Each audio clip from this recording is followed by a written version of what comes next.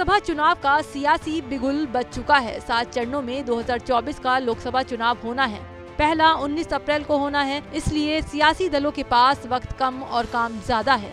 ऐसे में सभी दल अपनी अपनी रणनीति में जुटे हैं। इस बीच खबर यह है कि सपा से इस्तीफा देकर अपनी पार्टी का गठन करने वाले स्वामी प्रसाद मौर्य अब नई रणनीति में जुट गए हैं। सूत्रों के हवाले से जो खबर मिल रही है, उसके मुताबिक स्वामी प्रसाद मौर्य ने भले ही अपनी पार्टी का गठन कर लिया हो लेकिन उनकी डील कांग्रेस से करीब करीब फाइनल हो चुकी है। खबर है कि स्वामी प्रसाद मौर्य कुशीनगर से लोकसभा चुनाव लड़ सकते हैं। चुनाव के लिए इंडिया गठबंधन से स्वामी प्रसाद मौर्य की बातचीत चल रही है।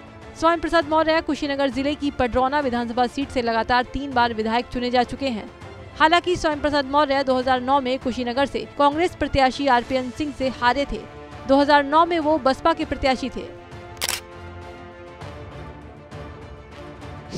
कुशीनगर लोकसभा क्षेत्र 2008 में हुए परिसीमन के बाद अस्तित्व में आया है। इससे पहले ये क्षेत्र पडरौना लोकसभा क्षेत्र का हिस्सा था।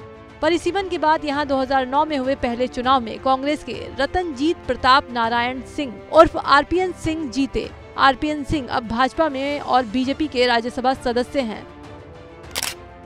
स्वामी प्रसाद मौर्य को लेकर सियासी गलियारों में चर्चाओं का बाज़ार इसलिए भी गर्म है क्योंकि कुछ दिनों पहले ही स्वामी प्रसाद मौर्य ने सोशल साइट एक्स पर अपने ऑफिशियल अकाउंट से कांग्रेस के यूपी प्रभारी अविनाश पांडे से मुलाकात की तस्वीरें शेयर की थी। स्वामी प्रसाद मौर्य ने लिखा था, भारतीय राष्ट्रीय कांग्रेस के महामंत्री एवं उत्तर प्रदेश प्रभारी श्री अविनाश पांडे जी, मेरे निजी आवास लखनऊ आकर औपचारिक भेंटवार्ता में इंडिया गठबंधन के विस्तार पर सकारात्मक चर्चा हुई।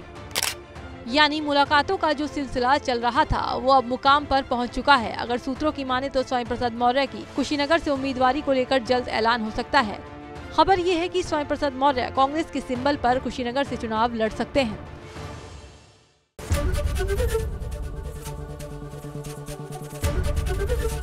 एबीपी गंगा, खबर आपकी, ज़ुबान आपकी।